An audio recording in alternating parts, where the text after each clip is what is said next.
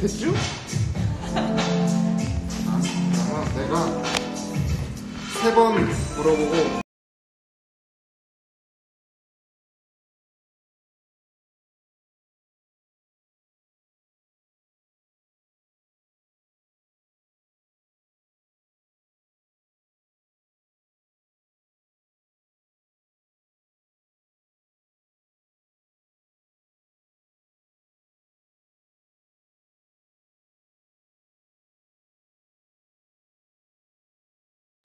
카드가 섞여 있으면 좀 오류가 나게 되는 거 있습니까?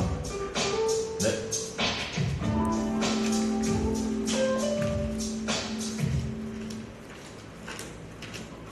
한 많이 들어왔어? 10명 있어요.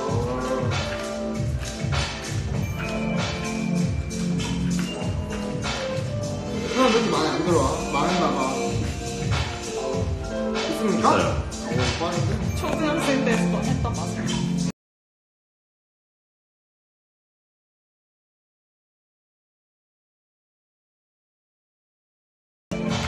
마지막.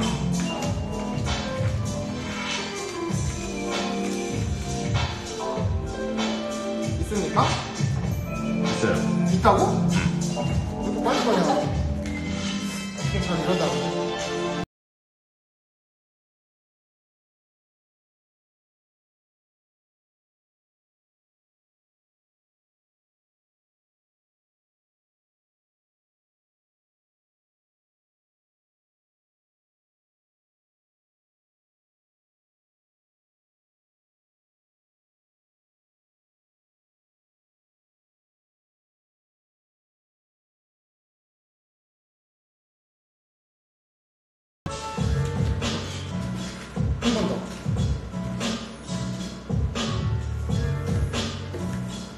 한 번 더.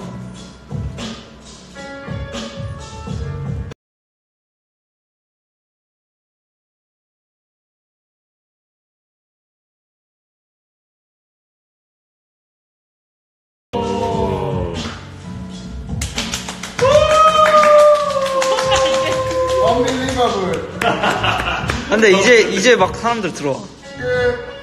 끝.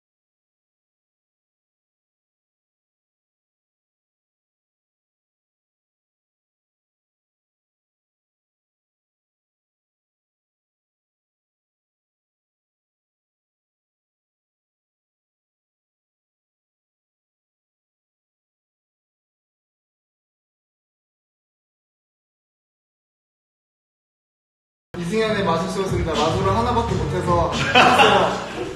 좋은 밤 보내세요.